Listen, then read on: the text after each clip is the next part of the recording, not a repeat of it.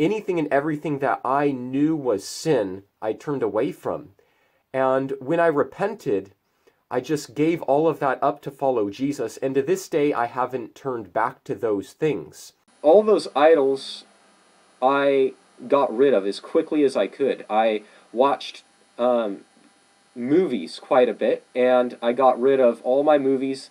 I, I threw out my TV. I don't watch any television or movies or anything like that. The first reason why I'm a shoo-in for heaven is because I've stopped watching the Smurfs. Nobody can, can watch the Smurfs and expect to go to heaven. And you too can go to heaven, but only if you become a special, anointed, and repentant, and amazing as me.